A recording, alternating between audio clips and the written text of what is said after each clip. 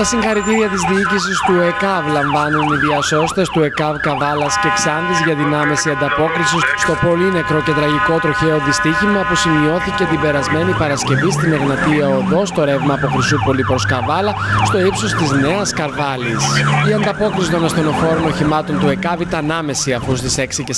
6.48 το πρωί το τηλεφωνικό κέντρο του ΕΚΑΒ έλαβε την πρώτη κλίση και ήδη στις 7.12 το πρώτο ασθενοφόρο έφτασε στον τόπο του δυστυχήματος. Συνολικά στην άμεση ταχεία επιχείρηση του ΕΚΑΒ για την αντιμετώπιση αυτού του πολύ νεκρού δυστυχήματος έλαβαν μέρος συνολικά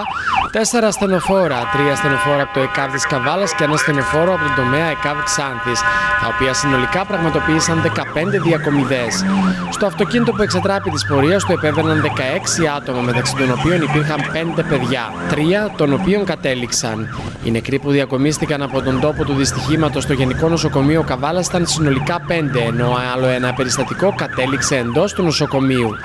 Το ΕΚΑΒ, έχοντας την πλήρη συνέστηση της αποστολής του, η οποία δεν είναι άλλη από την άμεση και αποτελεσματική αντιμετώπιση των εκτάκτων αναγκών των συνανθρώπων μας, διαβεβαιώνει κατηγορηματικά ότι θα συνεχίσει με την ίδια αποφασιστικότητα και αυταπάρνηση την εκτέλεση των καθηκόντων του απέναντι στην κοινωνία και τους συνανθρώπους. Τέλος, καταλήγει η επιστολή ότι θέλουμε να εκφράσουμε τα συγχαρητήριά μας στους συναδέρφους και το συντονιστικό κέντρο του παρατήματος ΕΚΑΒ Καβάλας για την άμεση ανταπόκριση στο περιστατικό και την επαγγελματική διαχείρισή του.